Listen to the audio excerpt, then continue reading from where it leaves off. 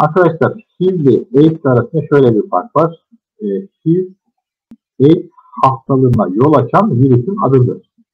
AIDS ise nedir?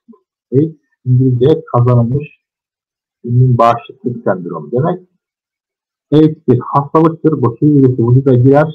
Yaklaşık işte 3 yılla genelde 10-12 yıl sonra tedavi olmazsa AIDS hastalığını ilerler. Yani AIDS hastalığının adıdır.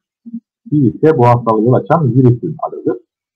Bunlar farklı şeylerdir ama sonuçta aynı şeyi temsil eder arkadaşlar.